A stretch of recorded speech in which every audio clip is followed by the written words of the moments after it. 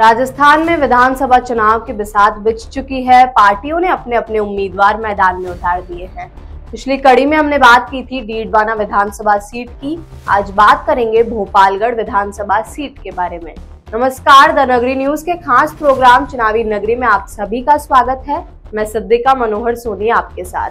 राजस्थान के मारवाड़ क्षेत्र में मौजूद है जोधपुर जिला, जहाँ बसा है भोपालगढ़ विधानसभा क्षेत्र, जो अनुसूचित जाति के लिए आरक्षित है।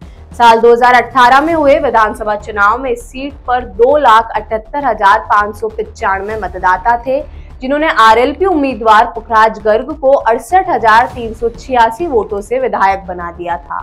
तो वही कांग्रेस उम्मीदवार भंवरलाल बलाई को सिर्फ़ तिरसठ हज़ार चार सौ चौबीस मतदाताओं का भरोसा ही हासिल हो पाया था और उन्हें चार हज़ार नौ सौ बासठ वोटों से हार का सामना करना पड़ा था। बात करें 2023 में होने वाले विधानसभा चुनाव की तो कांग्रेस और बीजेपी दोनों पार्टियों ने अपने अपने प्रत्याशी मैदान में उतार दिए हैं। इस सीट से वर्तमान में पुखराज गर्ग विधायक है, जो राष्ट्रीय लोकतांत्रिक पार्टी से है। इस बार होने वाले विधानसभा चुनाव में यहाँ तीन लाख दो हज़ार दो सौ पंद्रह मतदाता है, जो अपने मत का प्रयोग करेंगे।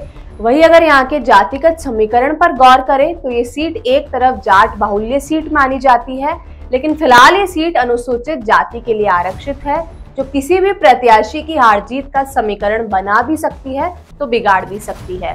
बता दें, भोपालगढ़ विधानसभा सीट का गठन उन्नीस सौ सड़सठ के परिसमन के दौरान हुआ था, लेकिन इस बार भोपालगढ़ विधानसभा सीट के परिणाम किस पार्टी के पक्ष में होंगे, इसका फैसला तो जनता ही करेगी।